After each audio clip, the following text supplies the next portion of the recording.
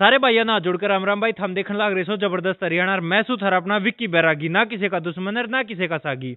बड़ौदा उपचुनाव में सारे जितने भी रिकॉर्ड हैं, वह टूटने लग रहे हैं, चाहे वह वाद विवाद के हों आरोप प्रत्यारोप के हों या फिर विरोध के हों विरोध बहुत पहले तो शुरू हुआ था और शुरुआत की बात करूँ तो राजकुमार सैनी का इस बड़ौदा के उपचुनाव में विरोध होना शुरू हुआ था।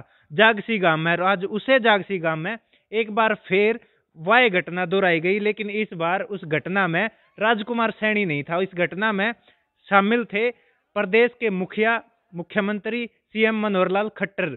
आज जागसी गाँव में बड़ौदा हल्के के जो जागसी गाँव है, उसमें सीएम मनोहर लाल खट्टर का एक प्रोग्राम था और उत, उनका खूब विरोध होया है। था, मैं बता दूँ कि आज बड़ौदा हल्के की बात करूँ तो सीएम मनोहर लाल के पाँच अलग अलग जगह पर कार्यक्रम थे अपने प्रत्याशी जजपा, भाजपा के साझे प्रत्याशी योगेश्वर दत्त के चुनाव प्रचार खातर पाँच जगह पे। और उनमें आखिरी और अंतिम की बात करा हम तो जागसी गाँव में उनका चुनाव प्रचार जो रैली या सभा की वहाँ वो थी। और उसमें काफिले में उनके साथ डिप्टी सीएम जो दुष्यंत चौटाला, उनके छोटे भाई दिग्विजय चौटाला भी मौजूद थे उस पूरे काफिले का आज जमकर विरोध जागसी गाँव में होया है। एक तरफ़ ने जब राजकुमार सैनी की बात करा उस विरोध की तो उसके बाद माहौल बना था कि वो विरोध जागसी गाँव में बीजेपी के समर्थन में जो लोग हैं, उनने करा था। लेकिन आज ये सवाल पैदा हुआ है कि मनोहर लाल, जो प्रदेश के मुखिया हैं, और आज उनका जागसी गाँव में फिर विरोध हुआ है पहले विरोध के बाद एक ही गाँव में दोबारा किसी बड़े चेहरे का विरोध, वो किस वजह से हुआ है और किसने किसने करा है? लेकिन खबर गर्मा गर्म है, ज़बरदस्त है और खबर यह है, धरती बता दी है कि जागसी गाँव में सीएम मनोहर लाल का विरोध होया है। सीएम मनोहर लाल खट्टर, इस चुनाव में अगर बड़ौदा हल्के में घूमने की बात करा तो पहली बार आ जाए थे। बड़ौदा हल्के में, इससे पहले एक बार वो आए थे।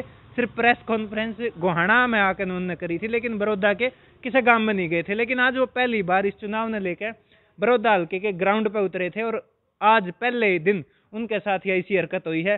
पहले ही दिन भारी विरोध का सामना उन्हें करना पड़ा है। एक बार यह विरोध की वीडियो देख लो था।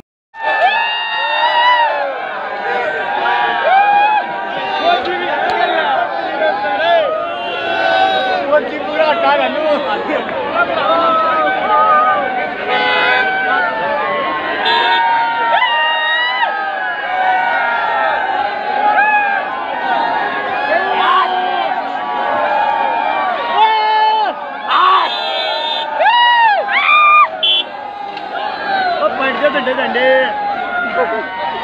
అక్కడికైనా కట్టు రాలేదా